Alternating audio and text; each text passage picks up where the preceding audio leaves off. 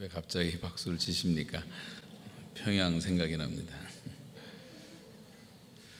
여러분 좀 배고프신 분들도 많이 계시죠?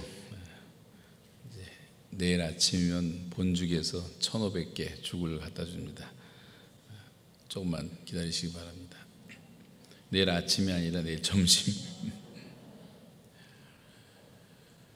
조용히 한 10초 동안만 눈을 감아 보시고요.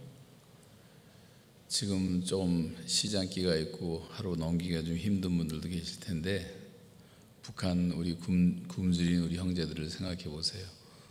우리 내일 한시면 다 해방되고 밥을 먹을 수가 있지만 먹을 수가 없는 희망이 없는 고통 가운데 지금 오랫동안 수백만 명이 굶어 죽어갔고 지금도 서서히 죽어가고 있는 내 동족들을 생각하면서 한 1분 동안 조용히 눈 감고 하나님 속히 저들에게 먹을 것을 주시고 자유를 주시고 해방을 주시옵소서 우리 간절하게 조용하게 함께 한번 1분 동안 기도하겠습니다.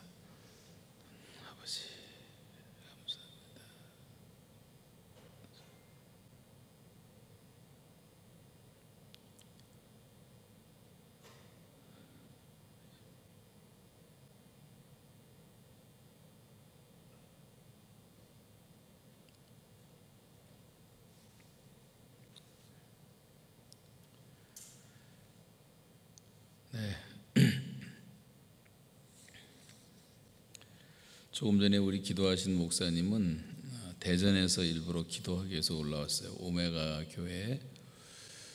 어, 대전에서 한 천 명 정도가 모이는 젊은이 교회를 캠퍼스를 두 개나 개척을 해서 열심히 하시는 목사님이십니다. 감사드리고 또 우리 조금 전에 찬양하신 두 분은 아버지하고 딸이에요.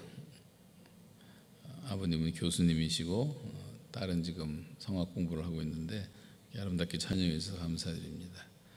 또 피아노 주신 우리 최수연 박사는 캐나다 저희 교회 출신인데 서울에서 만나서 자기가 한번 헌금 찬양하고 싶다 해서 왔고요. 우리 손영진 사모님은 제가 한 40여 년 전부터 CCC 활동을 같이 했고 저희 교회에서도 사역을 같이 했고 굉장히 더 목소리도 더 좋아지고 성숙해진 것 같아요. 얼마나 감사한지 모르겠습니다. 여러분 6.25 전쟁에서 우리가 살아남은 다섯 가지 기적이 있습니다. 그 당시에 한반도는 미국의 태평양 방위선 바깥에 있었어요. 스탈린이나 김일성은 생각하기를 남침을 해도 미국이 개입하지 않을 것이라고 판단을 했습니다. 또 이 김일성은 한반도에 무력을 사용한 공산 통일을 위해서 먼저 철저하게 준비를 했었습니다. 소련 스탈린의 허락을 받고 중국 모태동의 협력을 약속받았습니다. 지상군 18만 명, 항공기 200대, 대포 400여 문, 그리고 탱크 240대, 막강한 화력으로 1950년 6월 25일 새벽 4시에 38선 전 지역에서 일제히 남침 공격에 불길을 내뿜었습니다. 반면에 한국 상황은 어땠는가?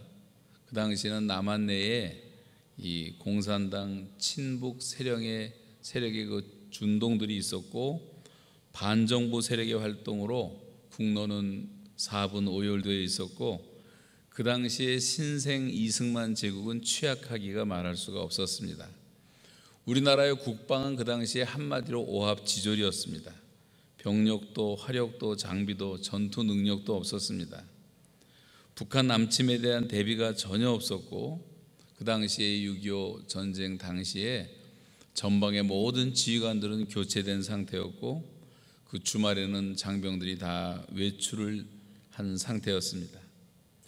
또 우리는 탱크도 한 대도 없었고 그래서 이 전방에서 강력한 탱크를 앞세워서 쳐들어오는 인민군들의 강력한 화력 앞에 여지없이 무너지고 딱 3일 만에 서울은 점령을 당하고 말았습니다. 여러분 이 요즘에 북침이라는 말을 많이 쓰는 사람들이 있는데 말도 안 되는 소리죠. 거기서 준비해 온 그들이 3일 만에 서울을 함락시켰습니다. 얼마 지나지 않아서 부산 1원만 남았고 여러분 그 유명한 낙동강 전수 이야기를 잘 압니다만 대한민국은 이제 지구상에서 사라질 운명에 처하게 되었고 김일성의 승리는 너무도 확실하게 보였습니다.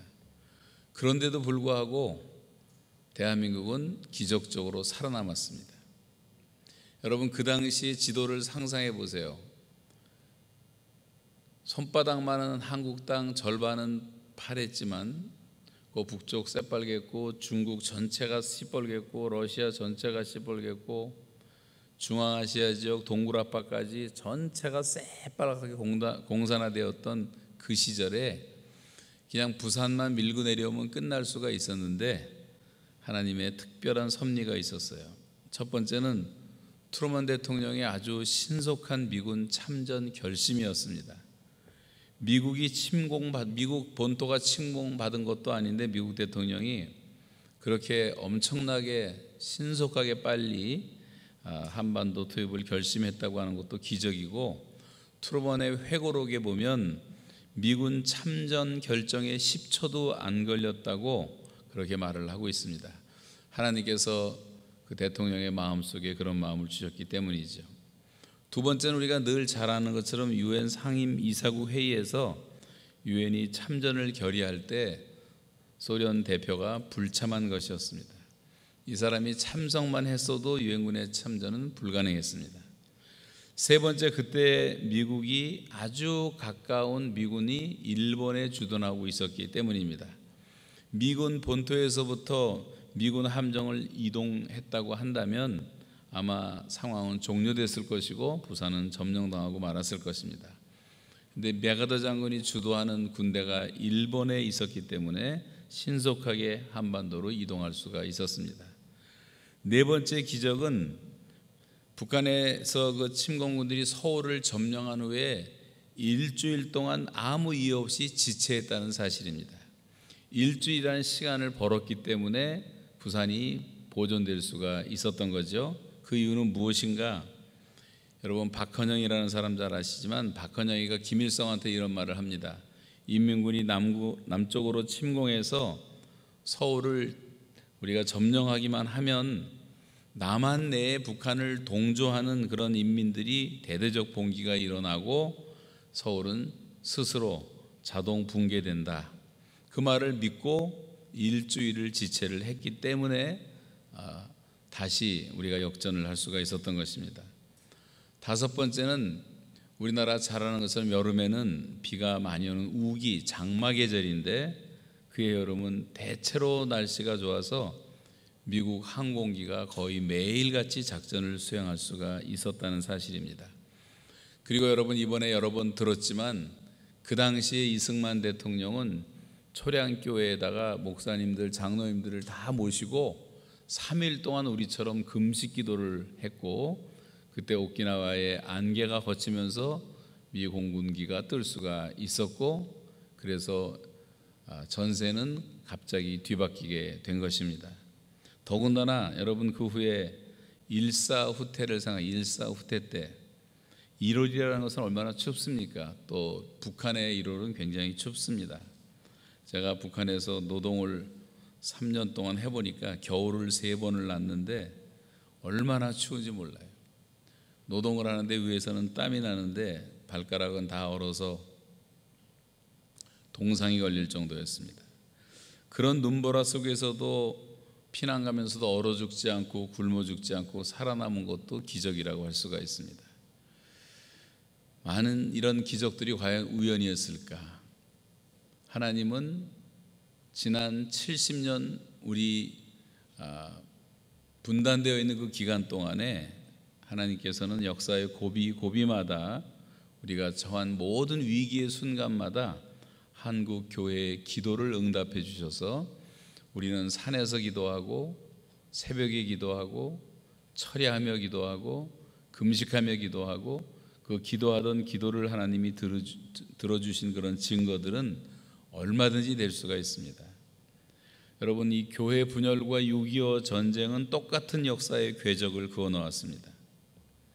6.25 바로 직전의 한국의 상황과 지금의 한국의 상황은 어쩌면 그렇게 다 비슷한지 모르겠어요. 한국 교회는 극심한 내부 분열로 어지러웠습니다.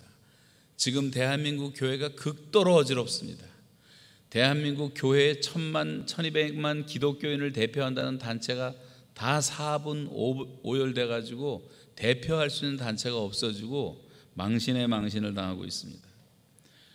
그 당시에 일제 시대 도 그랬고 또 6.25 바로 직전도 그랬고 교단의 지도자들은 앞장서서 신사 참배를 결의하고 저마다 앞장서서 우상 숭배를 하기 시작했습니다. 한국 교회는 마치 사대 교회처럼 살았다 하는 이름을 가졌지만 실상은 죽은 교회가 되고 말았습니다. 정치적으로도 극렬한 분열과 싸움이 있었습니다. 지금 우리나라 현재의 상황을 보십시오. 이 정, 정치인들의 이 뻔뻔한 타락, 사회의 총체적인 부패, 종교적인 영적인 극심한 혼란과 도덕적 타락을 보면 알 수가 있습니다. 지금 우리 민족은 죄에 점점 중독되어 가고 있습니다. 현대인들에게 가장 익숙한 단어 가운데 하나가 중독이라는 단어입니다.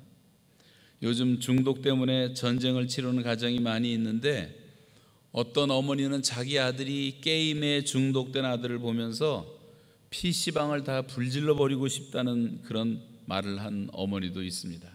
그런 사람들이 얼마나 많겠습니까? 지금 우리나라 사람들은 겉으로는 다 잘 사는 것 같지만 많은 분노가 있습니다. 국민 7명 가운데 한 명이 4대 중독에서 벗어나지를 못하고 있습니다.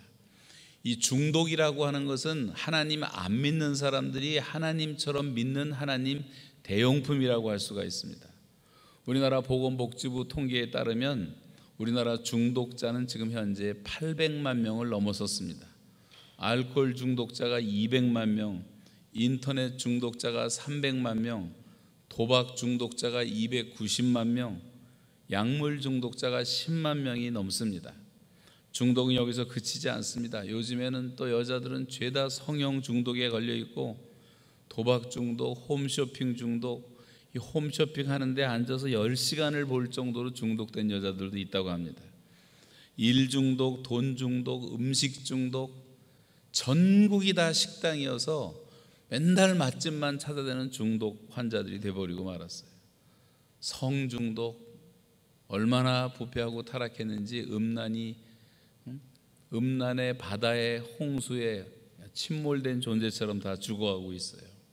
야동 중독, 뭐 스마트, 스마트폰 중독, 드라마 중독, 스포츠 중독 요즘에 많이 스톱됐습니다만 지금부터 10년 전 통계를 봤는데 카지노 이용자가 504만 명, 경마 인구가 2,100만 명, 복권 매출액이 2조 5,200억 원으로 증가했어요. 10년 전 통계입니다. 중독 포럼에 따르면 4대 중독에 지금 현재 우리가 쓰고 있는 이 사회 경제적 비용이 200조를 넘었어요. 200조. 여러분 우리나라 금년 예산이 513조입니다. 그러면 200조라는 게 얼마나 많은 돈이에요. 이게 다 쓸데없이 죄 짓는데 거의 다 죄 짓는데 사용되고 있다는 사실이에요.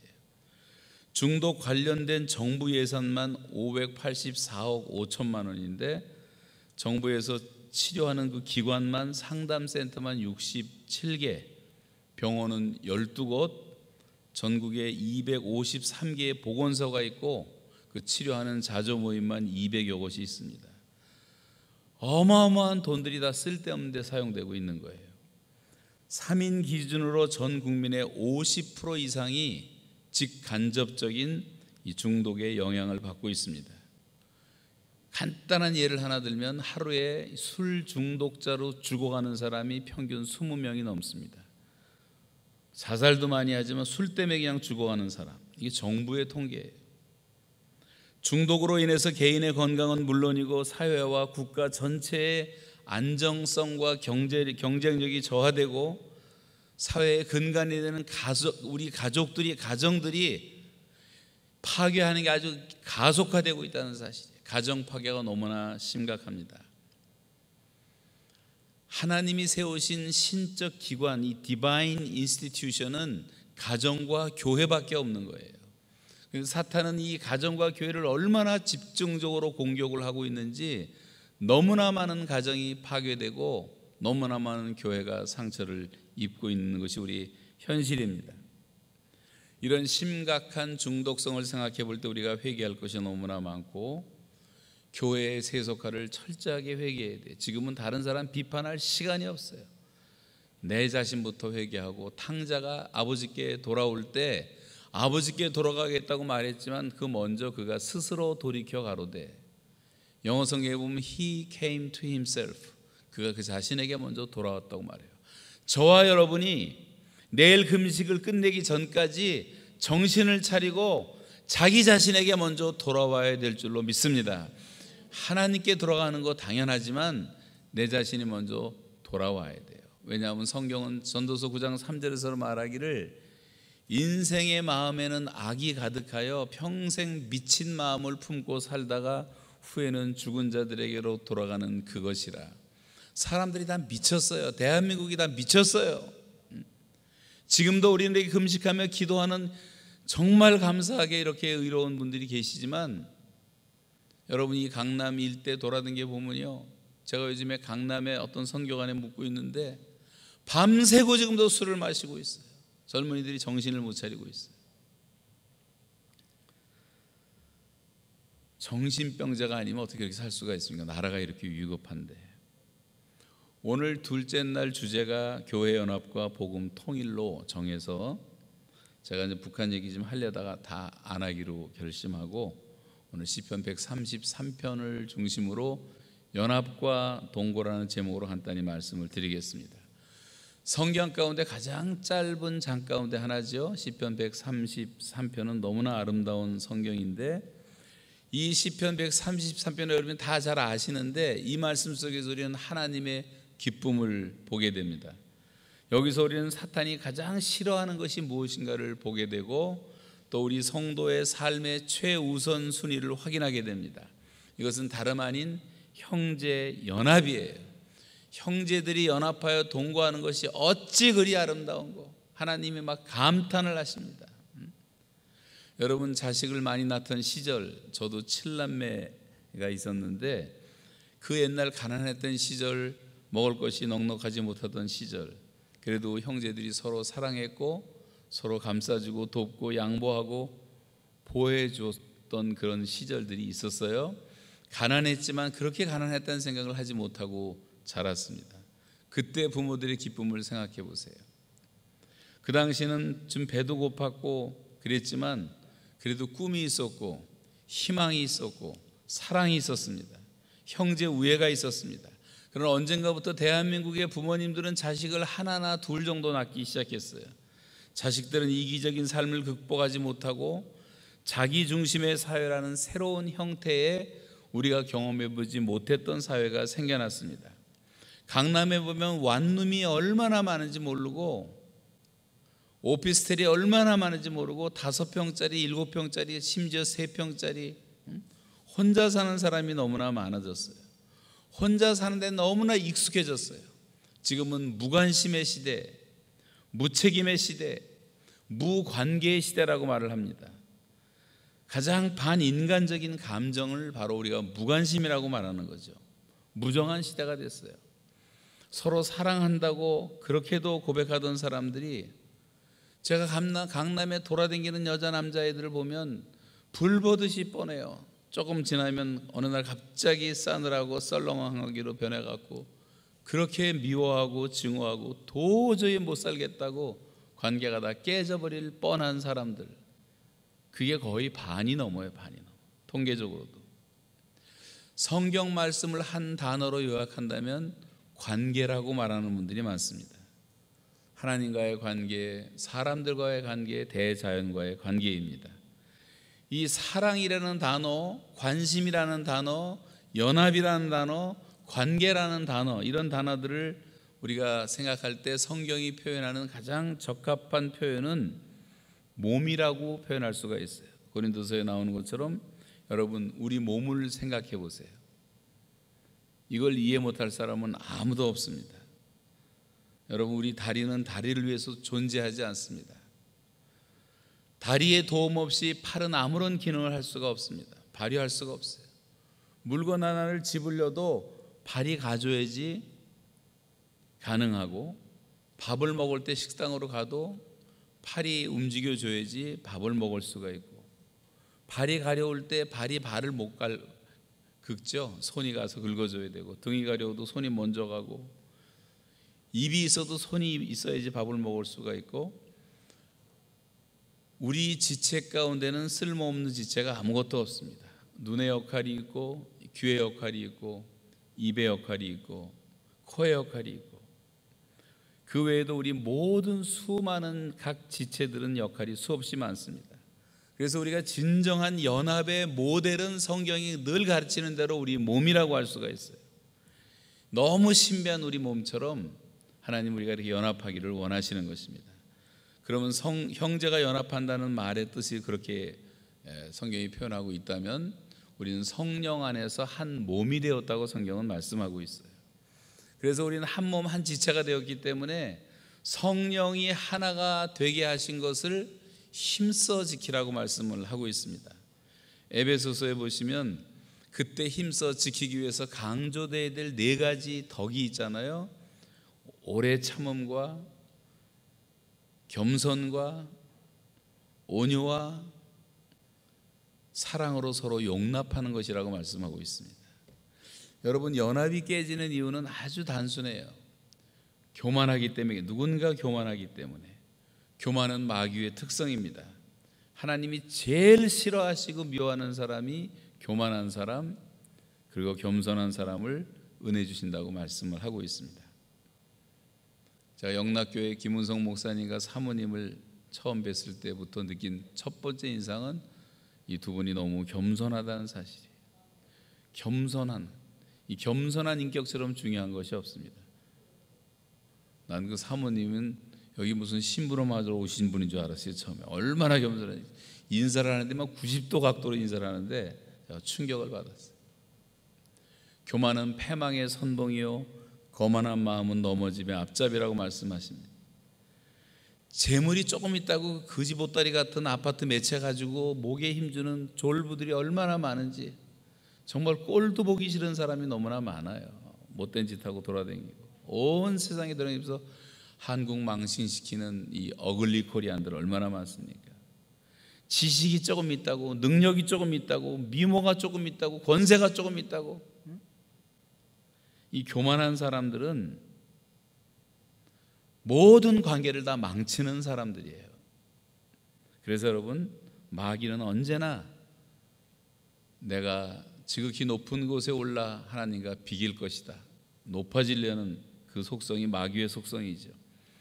그러나 하나님은 우리를 구원하시려고 인간으로 오셨고 어린 나귀를 타고 예루살렘에 입성하시고 제자들의 발을 씻겨 주셨고 인자가 온 곳은 섬김을 받으려 함이 아니야 도리어 섬기려 하고 자기 목숨까지 많은 사람을 내 대성물로 주시기 위해서 그래서 세상에는 천재적인 지도자도 많고 영웅형의 지도자도 많고 보스형의 강력한 카리스마를 갖고 있는 지도자도 많이 있지만 예수님은 그런 지도자가 아니라 성자형의 섬기는 지도자였습니다.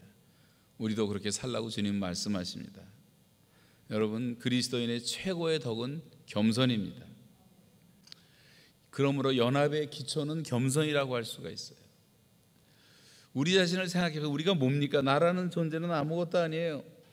흙으로 만들어지고 코로 숨쉬는 존재입니다.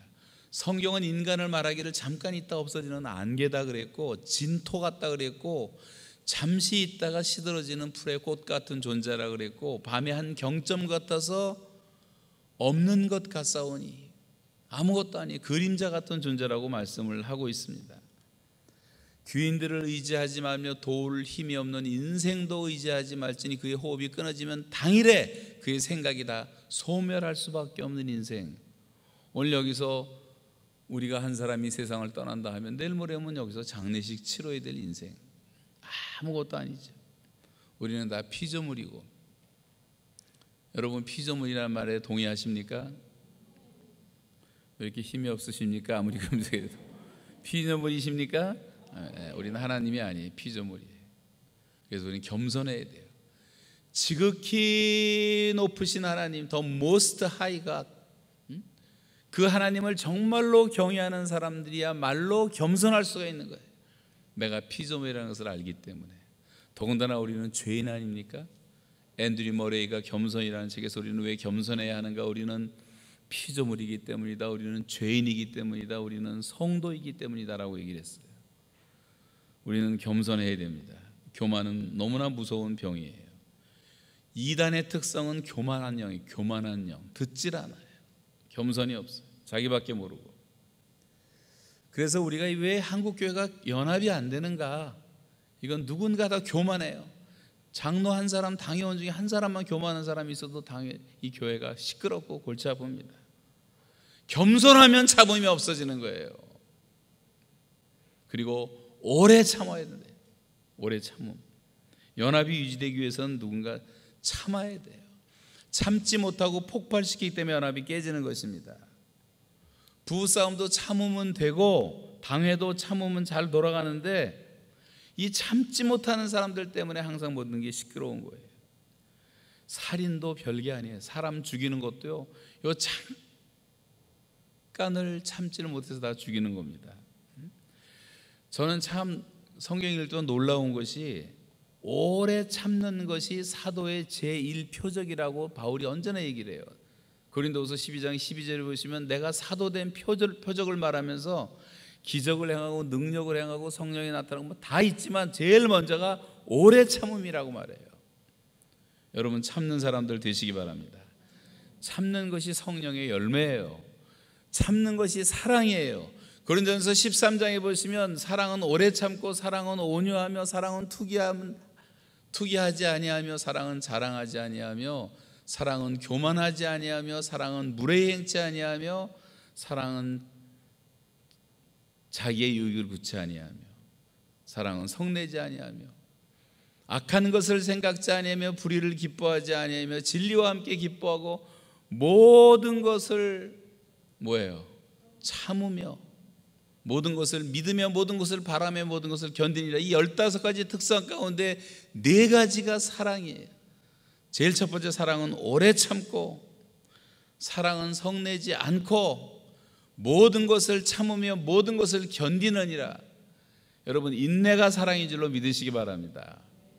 어머니들의 그 무시무시한 모성애가 어떻게 생기는 거예요? 열 달 동안 태중의 아기를 품고 그렇게 참으면서 기도하고 만지고 축복하고 또 애가 태어난 다음에도 끊임없이 24시간 긴장하면서 똥 오줌 갈아, 갈아주고 기저구 갈아주고 걸음마 시켜주고 그 많은 세월 동안에 참고 참은 것이 어머니의 모성애가 된단 말이죠. 하나님은 지금도 참으시는 하나님. 우리의 죄악에 비하면 하나님의 참으심과 자비와 긍휼은 거의 무한대하시기 때문에 우리가 지금 살아 있는 줄로 믿습니다. 이 하나님의 사랑에 우리가 너무나 감사한 거죠. 여러분 잘 참으시기 바래요. 남은 생에. 할 말이 있어도 좀 참고 기다리고 그러면 공동체가 다시 살아납니다. 온유하는 것이라고 말해요. 온유라는 것은 이 친절하다고도 볼 수가 있는데 영어 성경에는 카인드라고도 번역되는데 여러분 친절한 사람을 한번 연상해 보세요. 여러분의 인생에 가장 친절했던 사람 어디 밥 먹으러 가는데 아주 친절한 식당, 친절한 직장, 친절한 백화점 Nordstrom이라고 하는 미국의 백화점은 너무나 친절하기로 유명한 백화점이죠. 크리스천 정신으로 시작했는데 제가 몇 번 실험을 했는데 가보면 직원들이 탁월하게 친절해요. 그거 거기를 안 갈 수가 없게 만든단 말이죠, 사람들이. 여러분 누군가 불친절하기 때문에 하나됨이 깨지는 것입니다. 우리가 불친절하면 불쾌감이 생겨요. 지금 온유하고 사람이 친절해야 되는데 그래서 가까이 하기 싫은 거지. 이 친절함이라는 것이 사람의 마음의 문을 여는 것입니다. 엊그제도 제가 새벽에 좀 걷는데 어떤 나이 많으신 분이 어떤 어른이 저보다 먼저 그냥 허리를 굽혀서 인사하시더라고요. 아침 인사를. 그러고 인사 한 번만 봐도 마음이 확 열리는 거예요. 우리가 누군가 온유하지 못하고 친절하지 못하기 때문에 다 관계가 깨지고 마는 것입니다. 교회 안에서 먼저 좀 친절했으면 좋겠어요. 온유한 인격은 넓은 마음이라고도 할 수가 있어요. 그런 사람이 하나님의 축복을 받습니다. 이삭처럼 이 비본질적인 것 갖고 다투지 말고 마음을 좀 넓혀야 돼요. 넓혀야 돼요. 그리고 용납하라 사랑 가운데 서로 용납하라 하나됨을 지키기 위해서는 서로 사랑으로 용납해야 합니다. 우리가 정말 연합되기 위해서는 용납이 필요한 거예요. 용납이. 우리가 용납받지 못할 때 상처를 받고 우리 아이들이 그렇게 왕따를 당하고 사고를 많이 저지른 이유는 다 용납을 받지 못하기 때문에 그런 것 아니겠어요? 성경은 그리스도께서 우리 나를 받아주신 것처럼 너희도 서로 받으라 그랬어요. accept one another. 서로 서로 좀 받아줘라, 받아줘라. 우리가 언어가 다르고 피부가 다르고 민족이 다르고 인종이 다르고 문화가 다르고 생긴 모습이 다 다른데 이건 다른 거지 틀린 것은 아니란 말이에요. 이 다양성을 수용할 수 있는 마음이 있어야 돼요. 크리스천들에게. 여러분 주님께서 우리를 나 같은 인간을 수용해 용납해 준 걸 생각하면 누구든지 용납할 수 있잖아요. 이단만 아니면 우리가 교회 안에서 누구든지 용납을 해줘야 됩니다. 저 유명한 바울의 고백 고린도전서 9장 한번 같이 읽어보시겠는데 9장 20절부터 한번 읽어보시겠습니다. 다 같이 시작. 유대인들에게 내가 유대인과 같이 된 것은 유대인들을 얻고자 하며 율법 아래 있는 자들에게는 내가 율법 아래 있지 아니하나 율법 아래 있는 자 같이 된 것은 율법 아래 있는 자들을 얻고자 하며 율법 없는 자에게 내가 하나님께는 율법 없는 자가 아니요 도리어 그리스도의 율법 아래에 있는 자이나 율법 없는 자와 같이 된 것은 율법 없는 자들을 얻고자 함이라. 약한 자들에게 내가 약한 자와 같이 된 것은 약한 자들을 얻고자 하며 내가 여러 사람에게 여러 모습이 된 것은 아무쪼록 몇 사람이라도 구원하고자 함이니 내가 복음을 위하여 모든 것을 행함은 복음에 참여하고자 함이라. 복음의 본질에는 변함이 없어야 되지만 복음을 전하는 그 방식에 있어서는 얼마든지 변화가 있을 수가 있다고 하는 말 아니에요? 예수님은 세리와 창기의 친구라고 별명을 받았고 죄인들의 친구라고 별명을 받을 정도로 지금 여기 목사님들이 가서 술집에 가서 앉아 있고 창녀들 옆에서 얘기하고 있으면 많은 분들이 오해하지 않겠습니까? 예수님은 그들과 함께 사셨어요. 그러면서 복음을 전하셨단 말이죠. 우리 지금 얼마나 나도 모르는 사이에 바리새인이 되어 있는지 몰라요. 그래서 고린도서 6장 13절에 보시면 너의 마음을 좀 넓혀라. 왜 이렇게 밴댕이 속처럼 속이 좁냐? 주님은 좁은 길로 가라고 말씀하셨지 좁은 마음을 가지라고 말씀하지 않았어요. 마음을 넓혀야 되는 거예요. 수용할 수 있는 거예요. 수용해야 돼. 수용해야 돼. 근데 이 교회 댕기는 크리스찬이라고 하는 사람들이 너무 좁아서 어떤 사람은 너무 극보수로 가고 어떤 사람은 너무 극좌로 가가지고 요게 40% 된다 그래요 40% 나머지는 다 어베일러블한 분들인데 여러분은 다 그런 분인 줄 믿습니다만 여러분 너무 고집불통한 사람들이 되면 안 되는 거예요 지금 세상 사람들은 다 연합을 하고 있어요. 마음을 넓히고 유러피안 Union, 이 유럽 연합이죠. EU를 보십시오. 얼마나 돈까지 다 자기 따로 돈을 만들잖아요. ASEM을 보세요. 아시아에서도 협력이 있죠. NAFTA라고 미국과 카나다와 멕시코가 또 하나가 돼서 자유무역하죠. SPC라는 태평양 공동체라는 22국의 연합국이 있어요. 아프리카에도 African Union이라고 하는 55개 아프리카 국가들의 연합이 있어요.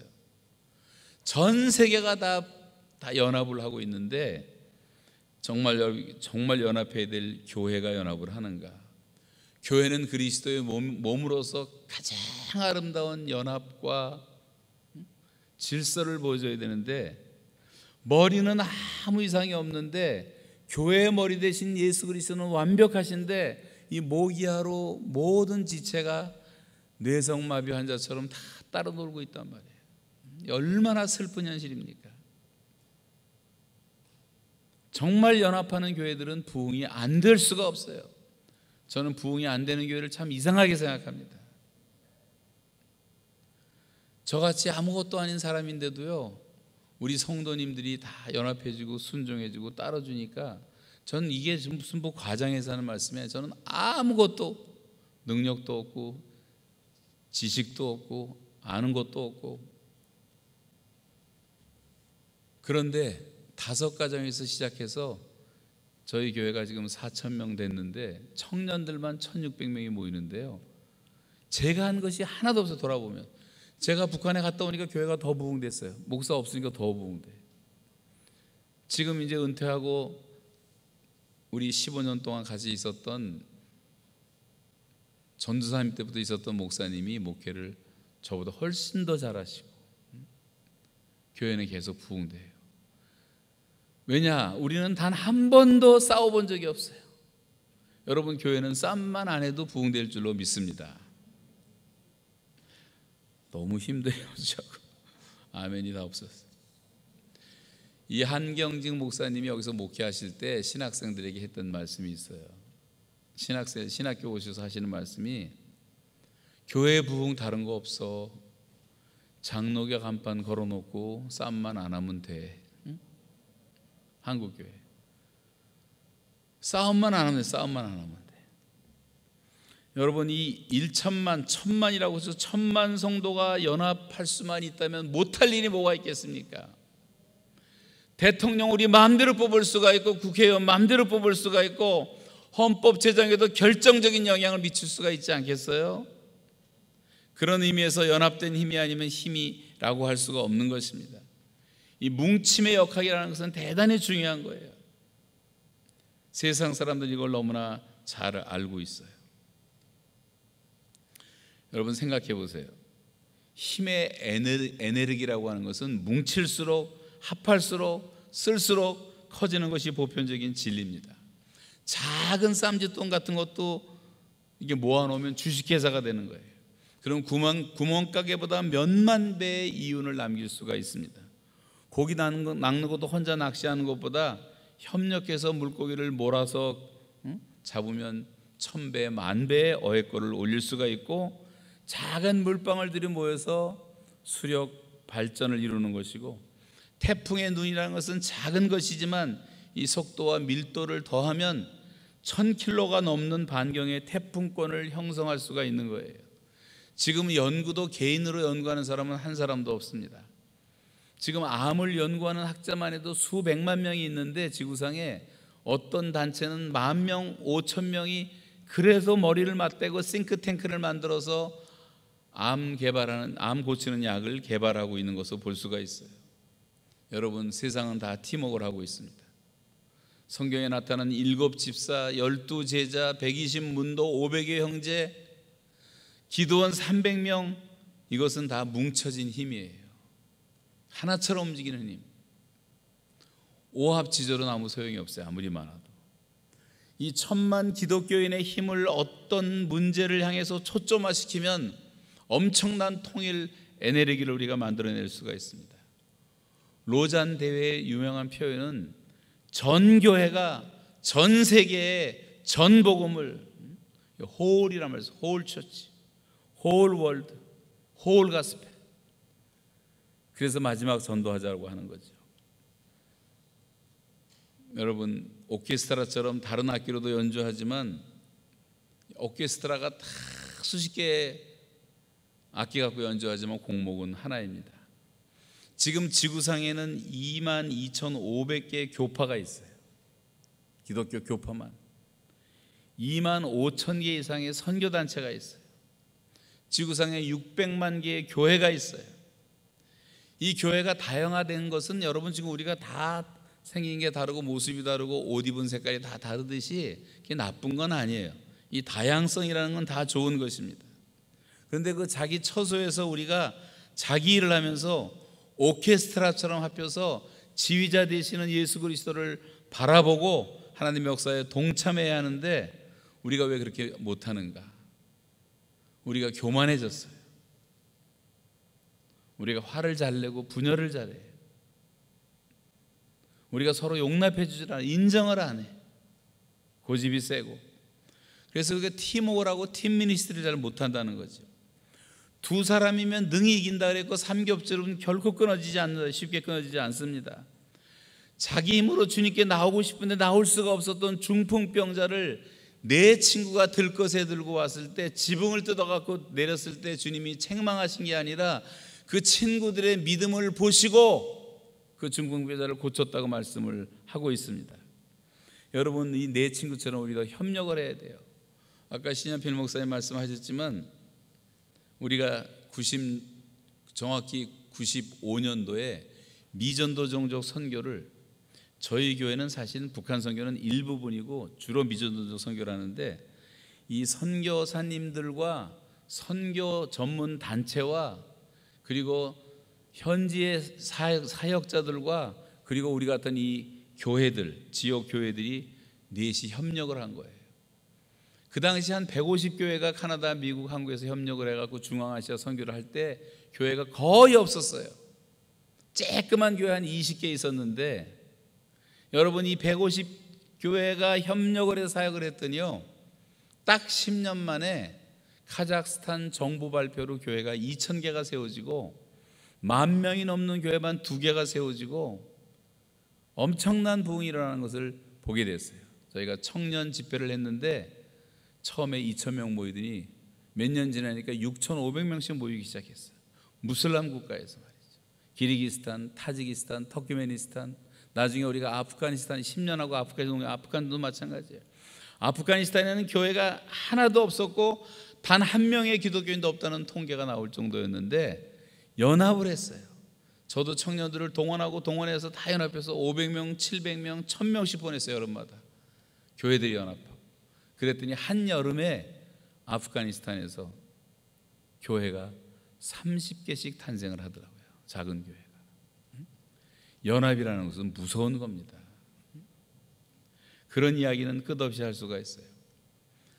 지금 우리 인도에 가 있는 안강희 선교사님 중심으로 그 팀들은 지금 한 20년 동안에 팀웍을 가지고 교회가 없는 무교회 지역에서 교회를 4천 개를 개척을 했어요.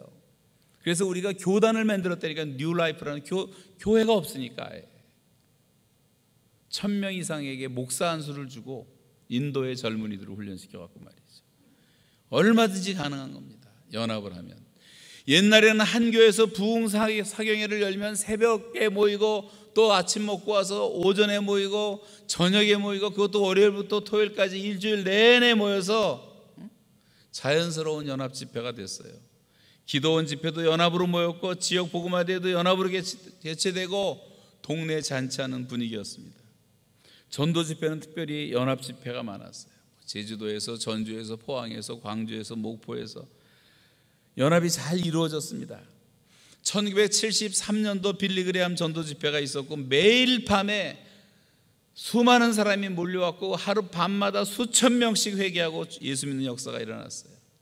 엑스포로 74 할 때도 매일 밤마다 100만 명이 모였고 낮에는 33만 명이 전국에서 모여와서 일주일 내내 하루 종일 민족 복음화 요원 훈련을 받았습니다.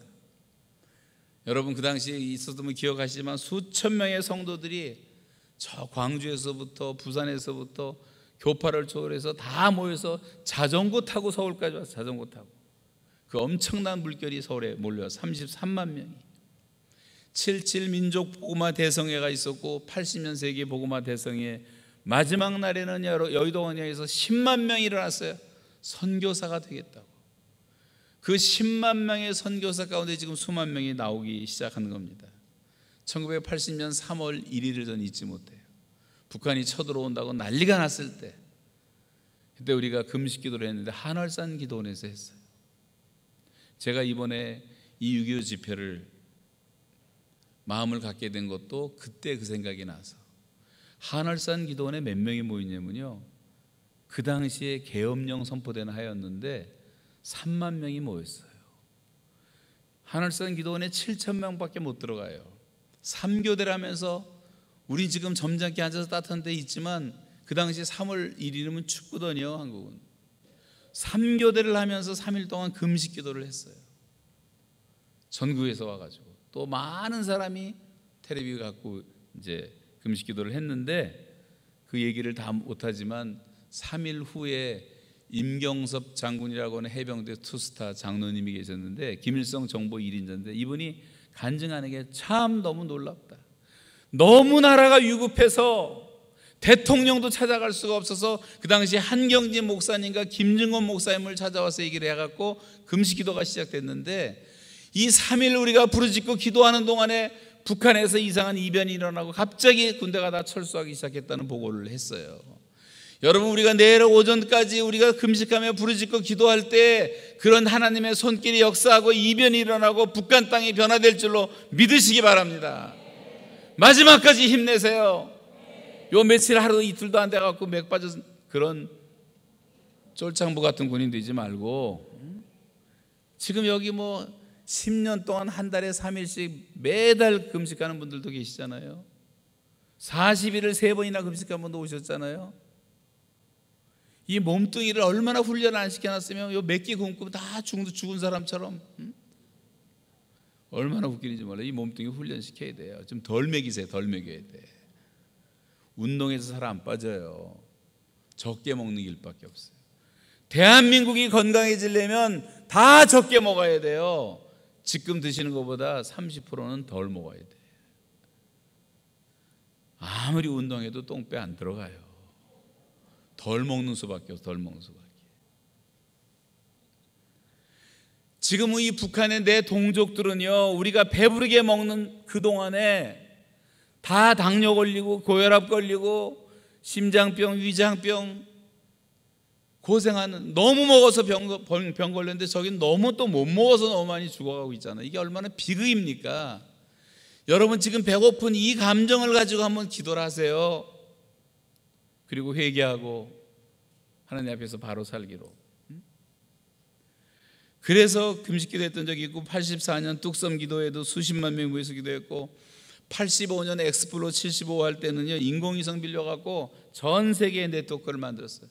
제가 그 집회 끝나고 저는 카나다로 떠났어요. 지금 35년이 됐습니다만 중간에 한 번 더 왔는데 1994년에 2,000개 도시가 연계되어서 동시에 개최된 세계 기도 성회가 있었고 95년대에는 로잔 대회 연속으로 소위 지코이라고 하는 대회가 우리 서울에서 있었는데 그때 187개국에서 4천 명 넘는 세계 교회 지도자들이 한국에 몰려와서 미전도 미접, 미접촉 지역 보고마를 계획을 해가지고 지금 굉장히 급속하게 10만 명 단위로 370개 남아 있었던 미전도 종족 북인도 지방에 있었던 것이 거의 다 없어지고 지금 100개도 안 남았어요.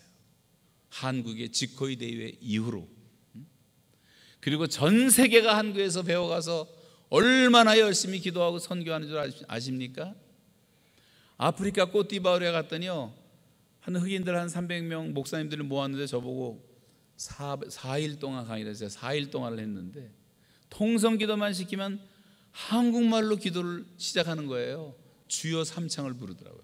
다 한국 와서 배워가지고 와서 누가 잘못 가르쳐서 다 지어 그러더라고요. 그래서 제가 주여라고 고쳐줬는데 브라질에 갔더니 브라질 목사님들도요 수백 명이 모였는데 주여 삼창을 하고 한국말로 하고 기도를 하더라고. 이 주여 삼창이 한국 기독교 수출 품 종목 1등 품목이 1등 품목. 아주 깜짝 깜짝 놀라요. 브라질 동북부 갔더니 30만 명 모이는 교회가 있었어요. 한국에서 신앙을 배우고 기도를 배워왔어. 그런데요.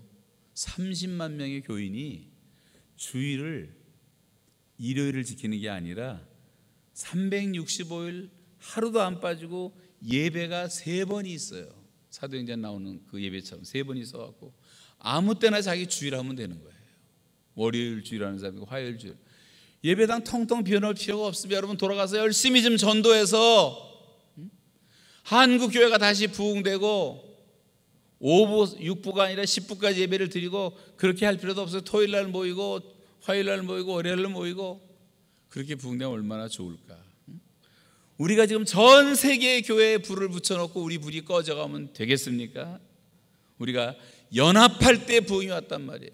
이 연합할 때 선교 사상 전례가 없는 1년에 1972년도에 200만 명밖에 없었던 한국 교회가 매년 100만 명씩 증가해서 80년도에 천만이 되고 말았어요. 1200만까지 육박을 했어요. 한두 번만 힘쓰면 사상 전례 없는 기독교 민족이 태어난다고 다 흥분을 했었는데 배가 불러지고 GNP 만불 시대가 되고 올림픽 개최한 다음부터 정체 상태, 마이너스 성장, 1년에 선교사들을 1000명에서 1500명씩 파송하던 열기가 식어서 지금은 정체 상태, 마이너스 2% 성장.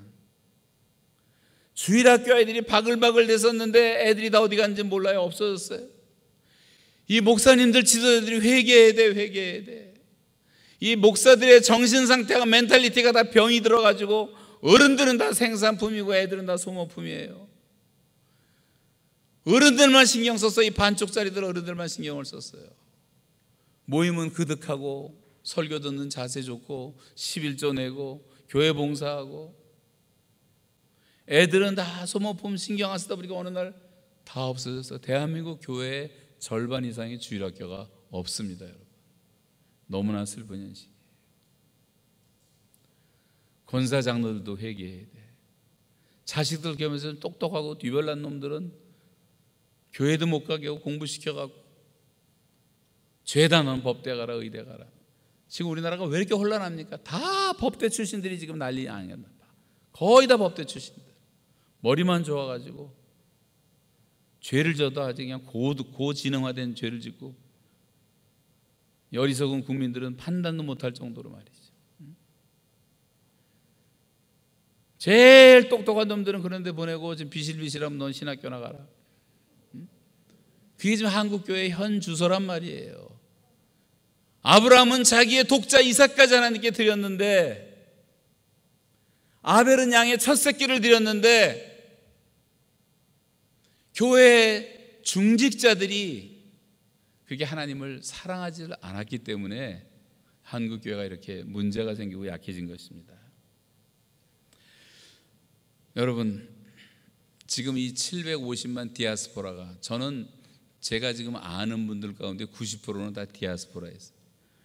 연락하려고 제가 주소로 이렇게 두들겨 보면요. 한국에 있는 분들 한 10%, 90%는 다 흩어져 있는 분들인데 제가 좀 디아스포라를 많이 찾아다니게 됐는데 디아스포라 750만 우리 해외 동포들은요. 아직도 그래도 옛날 그 70년대, 80년대 신앙을 갖고 있어요. 뜨거워요. 해외 교회가 지금 6천 개 이상이 세워졌어요. 선교도 열심히 하고 있어요. 미전도 종족을 향해서 활발하게 사역을 진행하고 있어요. 여러분 우리나라도 군대 보고마, 학원 보고마, 경찰 보고마, 교도소 보고마, 직장 보고마, 뭐 연예인 교회, 체육인 교회 엄청난 계층 보고마가 활발하게 일어나던 시절에는요 교회들이 서로 연합을 할 때였어요. 연합을 할 때. 연합을 하지 않고 교회 부흥은 일어나지 않습니다. 오늘 본문에 보시면 제일 먼저 강조되는 게 연합과 동거예요. 연합과 동거. 연합하고 동거함이 어찌 그리 아름다운 거. 여러분 부부도 연합하고 동거할 때 힘이 있는 거죠. 하나님이 보실 때 제일 안 좋았던 것이 독처하는 것이 좋지 못하니 내가 돕는 배필을 지으리라. 하와를 지은 다음에 그 다음에 하나님이 하신 말씀은 보시기에 심히 좋았더라. 여러분 부부가 마음을 아파고 하나가 되면 보시기에 심히 좋은 것이고 싸우고 갈라지면 너무 안 좋은 거란 말이죠. 자녀도 마찬가지. 그렇다면 여러분 교회 연합이라는 것은 어마어마한 능력이 있어요. 엄청난 영향력을 행사할 수가 있어요. 우리 민족이 남북이 하나만 될 수 있다면 온 세상에 끼치는 영향력은 대단할 것입니다. 미 합중국이 왜 세계 최강입니까? 여기 United States of America United라는 데 비밀이 있는 거예요. United. 하나가 됐기 때문에. 히브리서 10장 24절 25절 한번 같이 읽어 보실까요? 서로 돌아보아 시작 서로 돌아보아 사랑과 선행을 격려하며 모이기를 피하는 어떤 사람들의 습관과 같이 하지 말고 오직 권하여 그날이 가까울수록 더욱 그리하자. 다 읽을 시간이 없지만 사도행전의 부흥의 원리는 다 합심입니다. 일심입니다. 하나됨입니다. 한 마음 한 뜻이었어요. 그리고 폭발적 부흥이 일어나요. 예수 여자들과 예수의 어머니 마리아와 예수의 아우들과 더불어 마음을 같이하여 오로지 기도에 열흘 동안 힘썼을 때 또 날마다 마음을 같이하여 성전에 모이기를 힘썼을 때 부흥이 찾아왔어요. 핍박이 왔을 때도 성도들은 모여서 일심으로 연합해서 하나님께 기도를 드렸고 다시 성령 충만을 받습니다. 빌기를 다음에 모인 것이 진동하더니 무리가 다 성령이 충만하여 담대 하나님의 말씀을 전하니라. 5천 명의 회가 돌아왔고 믿는 무리가 한마음 한 뜻이 되어 유무상통했고 사도들이 큰 능력으로 주 예수를 주 예수의 부활을 증거하니 무리가 큰 은혜를 얻더라. 여러분 여기서 큰 능력이 나오는데 주 예수의 부활을 큰 권능으로 전했다 그랬어요. 권능이라는 말은 δύναμις, 다이나마이트. 크다는 말은 μέγας, 메가톤. 이 말은 100만 톤의 다이나마이트가 터지는 폭발력과 같은 능력으로 주 예수의 부활을 증거하니 우리가 큰 은혜를 얻더라. 한 마음 한 뜻이 됐을 때 이런 성령의 능력이 나타났다는 말이에요. 여러분 부흥되던 교회의 초대교회도 위기가 찾아옵니다. 그때 제자가 더 많아졌는데 헬라파 유대인들이 자기의 과부들이 매일의 구제에 빠짐으로 히브리파 사람들을 원망하는 일이 찾아왔어요. 마음들이 상하고 사람들이 서로 갈라지기 시작했을 때 지혜로운 열두 제자는 일곱 집사를 세워라 지혜와 성령이 충만한 자를 세워가지고 분쟁을 조정합니다. 분쟁이 조정되고 다시 마음들이 하나가 되었을 때 7절에 보시면 하나님의 말씀이 점점 왕성하여 예루살렘에 있는 제자의 수가 더 심히 많아지고 허다한 제사장의 무리도 이 도에 복종하더라 그랬어요. 한 마음 한 뜻이 되었을 때 서로 연합했을 때 이런 표현들이 많이 나와요. 3천 명이 회개합니다. 그 말을 받은 사람들은 세례를 받음에 이날의 신도의 수가 3천이나 더하더라. 주께서 구원받는 사람들을 날마다 더하게 하시니라. 말씀을 들은 사람 중에 믿는 자가 많이 남자의 수만 5천이나 되었더라. 믿고 주께로 나온 자가 더 많으니 남녀의 큰 무리더라. 제사장의 무리도 복종하고 헬라의 귀부인들도 복종하고 여러분 연합이 능력 있는 줄로 믿으시기 바랍니다. 연합이 부흥을 일으키는 거예요. 연합이 기적을 가져오는 것이고 연합이 우리에게 축복을 주는 것입니다. 여러분 연합에 힘쓰시기 바랍니다. 지나가다 십자가 보이면 교회 보이면 기낭 지나가지 말고 한번 기도해 주고 지나가고 하나님 저 교회들을 축복하시옵소서 여러분 직장에 가까운 교회 나가서 기도도 하시고 동네에서 내가 나가지 않는 교회라도 축복하시고 주님의 마지막 기도는 우리가 하나 되게 해달라는 기도였어요. 거기에 기름과 이슬이 내려옵니다. 여기 시편 130편의 그림과 이슬이라는 것은 그림 언어라고 볼 수 있어요. 아론이라는 대제사장의 수염에 수염은 권위를 상징하는데 흘러내리는 기쁨. 아론은 축복의 상징이에요. 축복의 상징. 이렇게 연합하는 곳에 하나님의 축복이 넘친다는 말이에요. 민수기 6장 우리가 너무 잘 아시잖아요. 아론과 그의 아들들에게 말하여 이르기를 너희는 이스라엘 자손을 위하여 이렇게 축복하여 이르되 여호와는 내게 복을 주시고 너를 지키시기를 원하며 여호와는 그의 얼굴을 내게 비치사 은혜 베푸시기를 원하며 여호와는 그 얼굴을 내게로 향하여 드사 평강 주시기를 원하노라. 저는 우리 아이 어렸을 때부터 계속 이거 갖고 안수기도를 해줬더니 1m 84 등치도 저보다 큰 놈이 지금 40, 40살이 된 애가요. 지금도 머리 갖다 대고 축복 기도해 달라. 이 기도로 하나님이 복을 주시는 것을 봤어요. 여러분, 이 아론의 축복, 헐몬산의 이슬은 높은 곳에서 내려오는 생명을 상징하는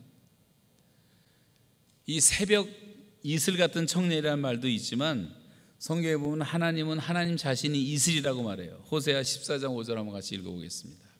내가 시작 내가 이스라엘에게 이슬과 같으리니 그가 백합화 같이 피겠고 레바논 백향목 같이 뿌리를 박힐 것이라. 네. 이 높은 헐먼 산에서 만들어진 이슬 이 생명이 낮은 산과 언덕 시온산 이 낮은 산들인데 그 메마르고 황량한 곳을 생명이 움트는 토양으로 만들어주고 있다는 말씀이에요. 하나님께서 이렇게 우리를 구별시키시고 하나님께서 우리를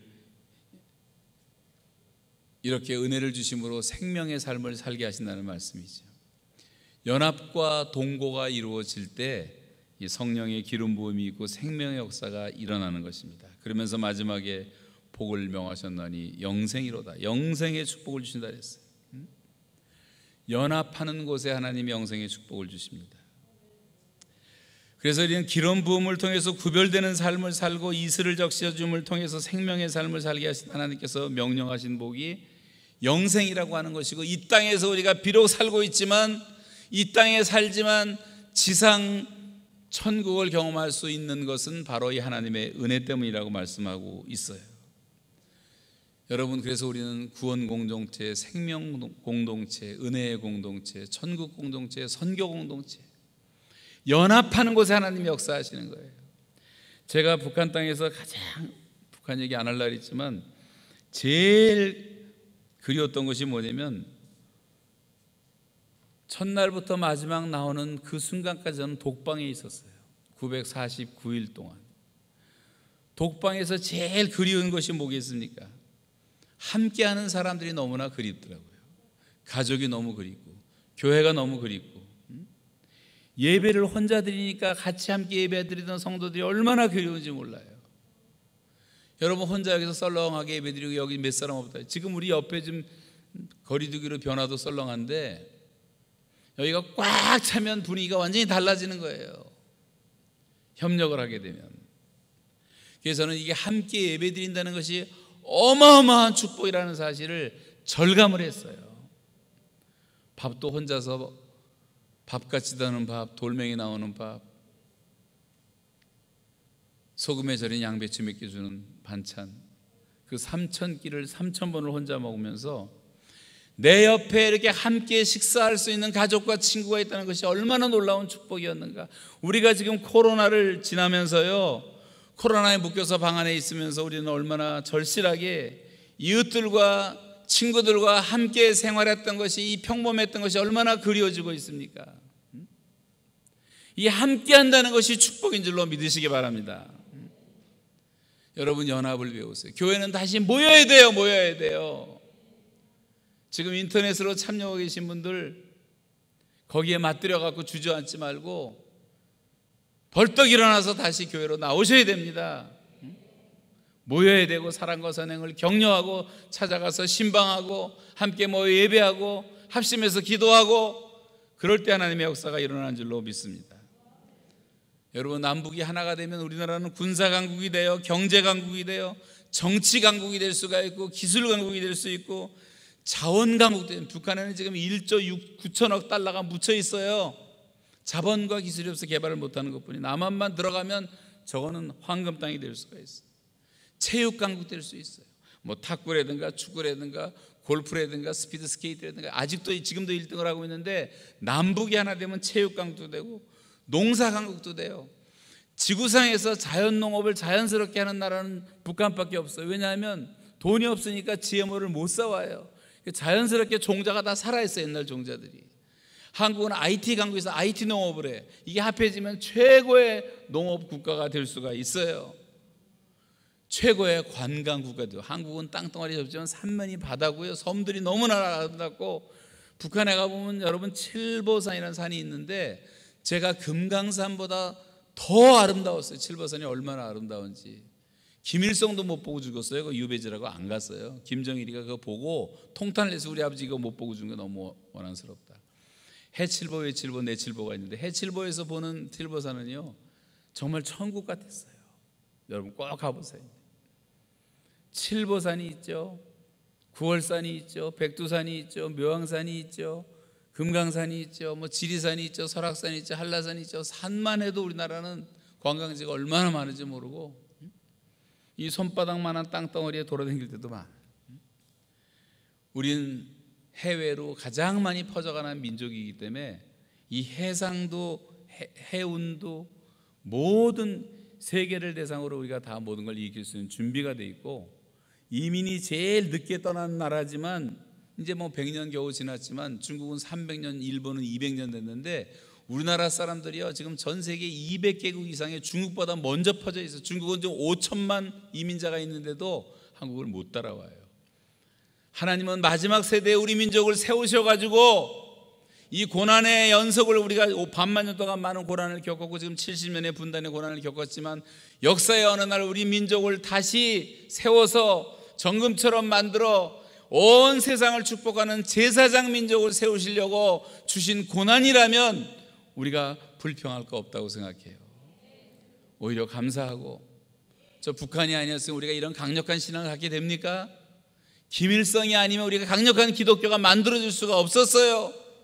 청와대 기습하고 울산에 들어오고 뭐 난리가 났을 때 우리는 산기도 설야기도 금식기도 하면서 이렇게 강한 신앙을 길러온 거 아니에요? 김일성 원망하지 마세요. 악한 자들도 악한 날에 적당하게 지으셨다 그랬어요. 우리는 받은 축복이 너무 많고 경제의 10대 대국이 되고 수출 품목 1등 품목만 100개가 넘고 하나님이 선교 국가로 완전히 준비시켰어요, 우리를. 여러분, 그래서 우리가 이제 그동안 싸우고 연합하지 못했던 것을 회개하고 연합에 힘써야 될 때고 죄를 버리고 하나님께 돌아올 시간입니다. 너희가 음란과 정욕과 술 취함과 방탕과 향락과 그리고 무법한 우상 숭배를 하여 이방인의 뜻을 따라 행한 것이 지나간 때로 족하도다.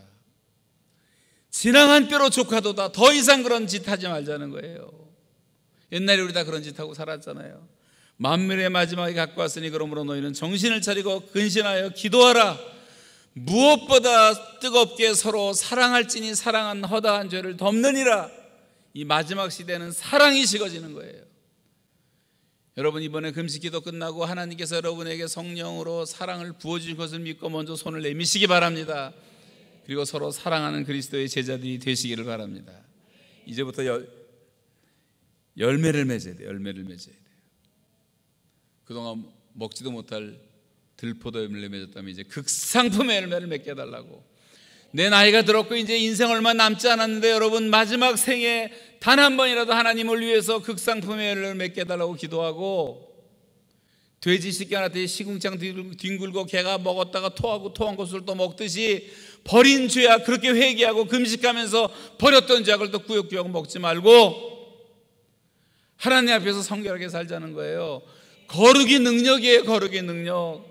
깨끗한 그릇을 하나님이 사용하시는 거예요.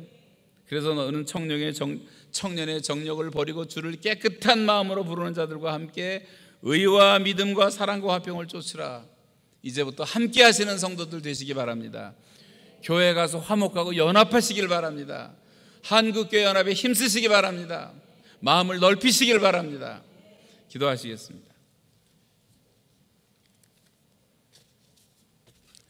우리 신목사님 나와서 기도하실 때 짧게 우리 기도하고 마칠 테니까 급하신 분들은 가시고 우리 5분 내로 다 마치도록 하겠습니다. 이제 다 끝났어요. 모든 순서 다 끝났습니다. 합심해서 기도할 때 우리가 연합에 힘쓸 수 있도록 한번 우리 3분 동안만 하나님이 형제가 연합하여 동감하고 정말 기뻐하시는데 그런 성도가 되게 달라고 함께 주여 한번 부르고 같이 기도하겠습니다. 주여.